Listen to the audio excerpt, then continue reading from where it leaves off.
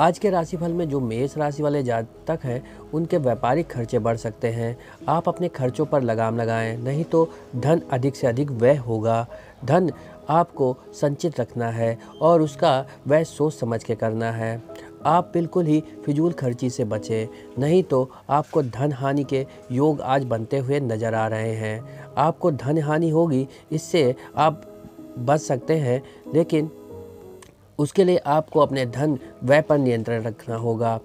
यदि आप व्यापारी या व्यापार करते की दृष्टि से कहीं पैसा लगाने जा रहे हैं तो उसमें भी आपको आज के दिन बहुत ही नियंत्रण रखना होगा और मित्रों से तालमेल स्थापित करने के बाद ही आप कोई कार्य करें या अपने वरिष्ठ जनों से मार्गदर्शन अवश्य प्राप्त कर लें। उसके बाद ही धन कहीं पर लगाएँ या धन का कहीं इन्वेस्टमेंट करें, क्योंकि आज धन हानि का प्रबल योग मेष राशि वाले जातकों के लिए बनता हुआ दिखाई दे रहा है। अतः आप आज सोच समझकर धन लगाएँ। आपका लकी नंबर एक है लकी कलर है हरा।